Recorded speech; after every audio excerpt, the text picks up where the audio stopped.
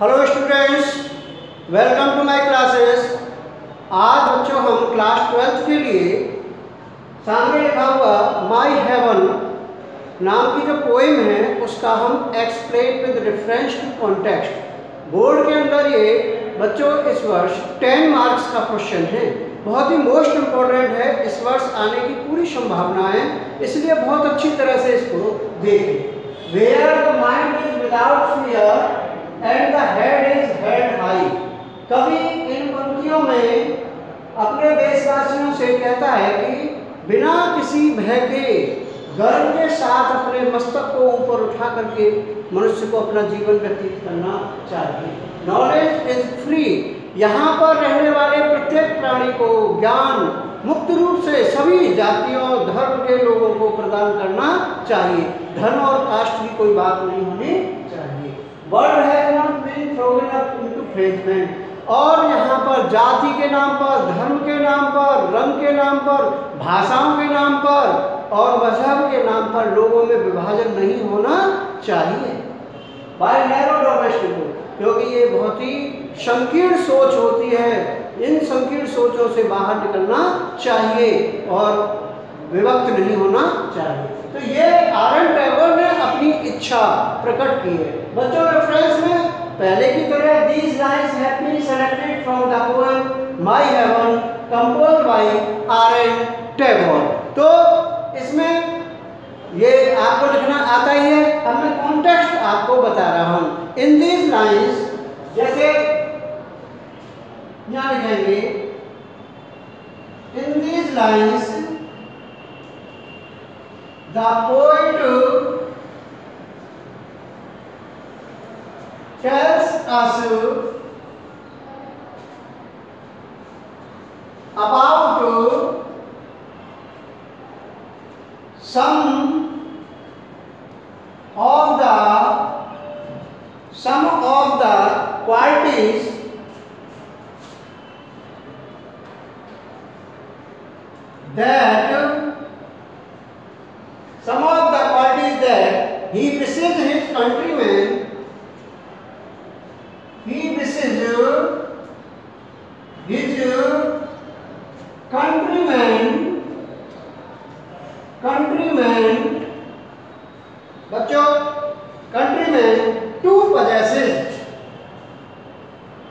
to possesses. देखिए, इन पंक्तियों में कभी हमें अपने उन देशवासियों के अंदर कौन से क्वालिटी होनी चाहिए, इसके बारे में बताता है। अब आते हैं बच्चों हम। अब एक्सप्लेनेशन अब हम आपको एक्सप्लेनेशन बताएँगे और बोर्ड के अंदर भी इसको व्यवस्था कर दिया है। दो नंबर का रेफरेंस मानने। दो का कॉन्टेक्स्ट क्या होगा बच्चों? चार। बचे सिक्स मार्क्स इसको हम एक्सप्लेनेशन के तौर पर मान सकते हैं बच्चों। जो जितना लिखेगा बच्चा, उतना ही पाएगा। इन दीज लाइंस या इन दीज लाइंस में the poet wishes that that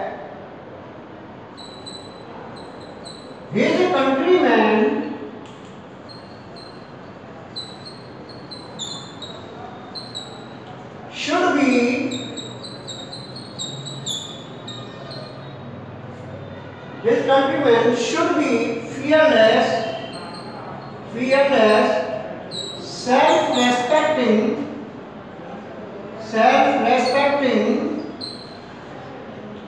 self-accept, and free from narrow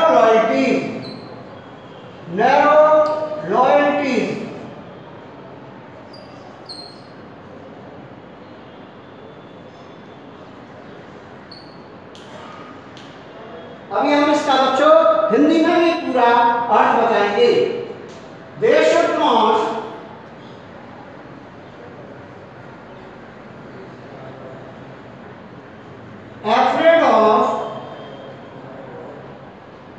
they should not afraid of anything. And should have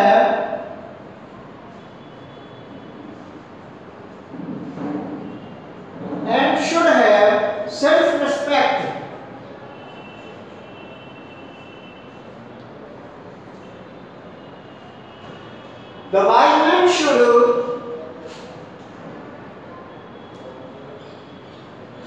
the wise man should give knowledge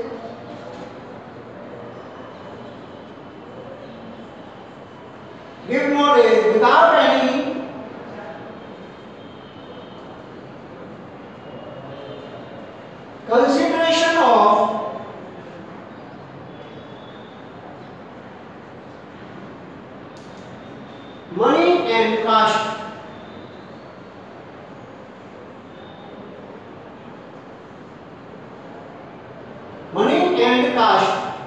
It should be given to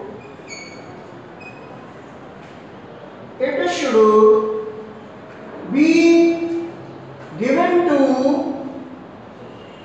everyone everyone. The people should not be the people should not be should not be narrow minded लोग कैसे नहीं होने चाहिए। छोटी सोच के, संकीर्ण सोच के it should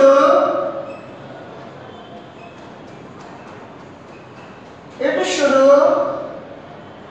not be divided divided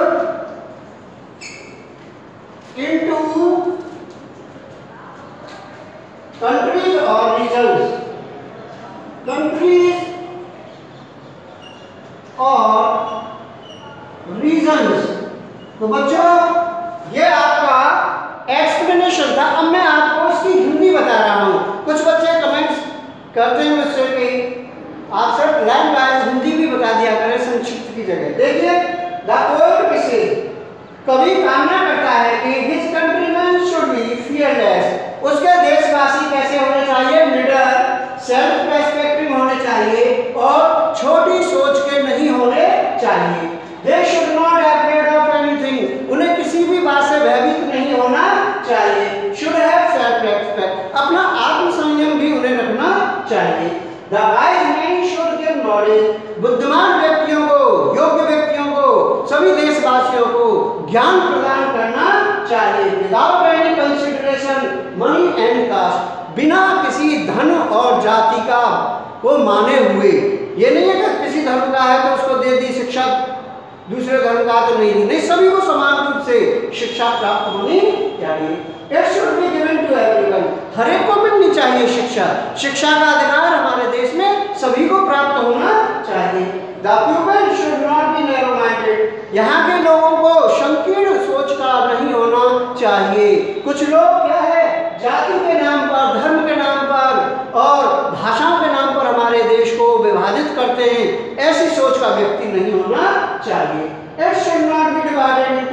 or region. और हमारे देश को देश को देश से ही नहीं बांटना चाहिए, क्षेत्र को क्षेत्र से नहीं बांटना चाहिए। धर्म और जाति के नाम पर ये सब नहीं होना चाहिए। आर एन टैगोर ऐसी इच्छा रखते थे, ऐसी कामना करते थे, तभी वो सोचते थे कि मेरा देश क्या होगा? हेवन बन जाएगा, स्वर्ग के समान बन जाएगा। तो ये बच्चों मैंने आज आपको this is one of the most important explanation for the board examination it contains 10 marks in the board examination if you write it in a correct way you will get 7 8 9 out of 10 9 out of 10 if your writing is neat and clear और आप इसको अच्छी तरह से करेंगे well preparation करेंगे बच्चों की और बोर्ड से पहले इनको बहुत अच्छी तरह से तैयार करेंगे। My best wishes to all the students for the board examination my lecture is over have a good day and good bye to all the